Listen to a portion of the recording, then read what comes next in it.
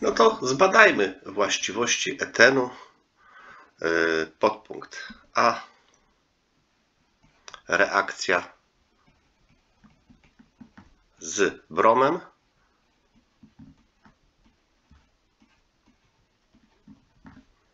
I manganianem 7 potasu, czyli KMnO4.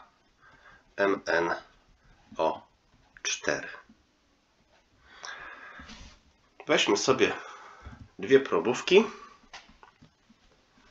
Tu mamy jedną probóweczkę, tu mamy drugą probóweczkę i do jednej wlejemy wodę bromową. Woda bromowa ma taki brązowawy kolor. Jest roz, brom rozpuszcza się po prostu w wodzie i mamy taką zabarwioną wodę. Natomiast KMNO4 to są takie fioletowe kryształki, które też się dobrze rozpuszczają w wodzie i dają taki fioletowy roztwór. I teraz do tych roztworów dodamy to, co otrzymaliśmy wcześniej, czyli eten. O. Tutaj, o, jedna strzałka, tu robimy drugą strzałkę. Dodajemy eten. I co się dzieje? Okazuje się, że jak przepuścimy eten przez wodę bromową,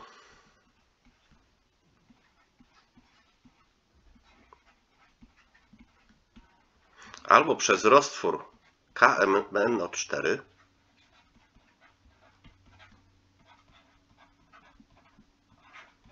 to one się odbarwiają. I to jest chyba najważniejsze. Odbarwiają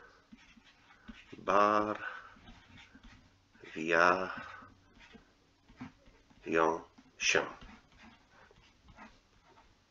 Jest to reakcja charakterystyczna.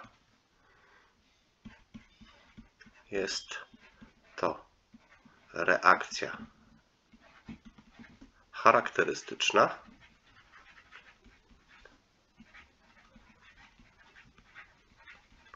dla węglowodorów nienasyconych.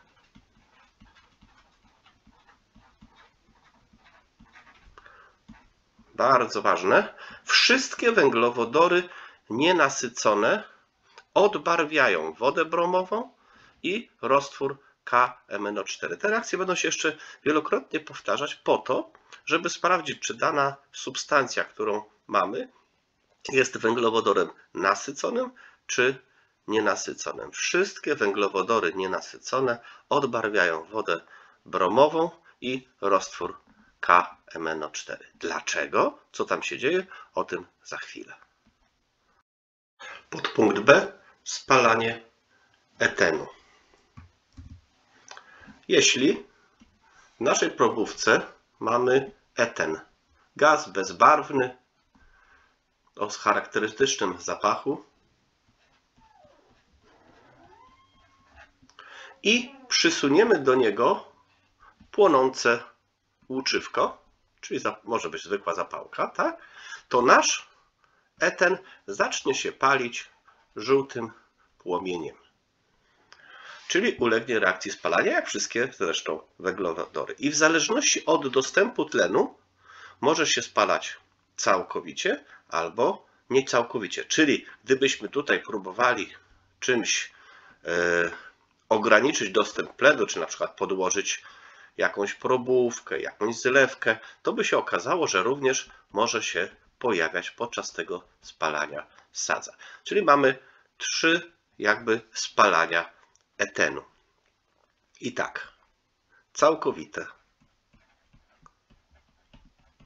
Jeśli jest pełny dostęp tlenu, to nasz eten C2H4 spala się pod wpływem tlenu atmosferycznego i powstaje, jak zawsze, dwutlenek węgla, czyli tlenek węgla 4 i woda.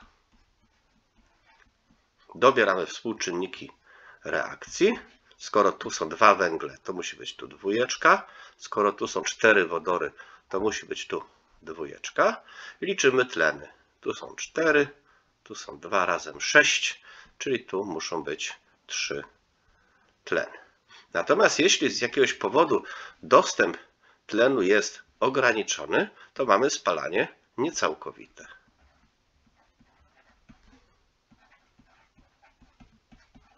Wtedy produktem reakcji jest albo tlenek węgla 2, czyli czad i woda, albo sadza i woda.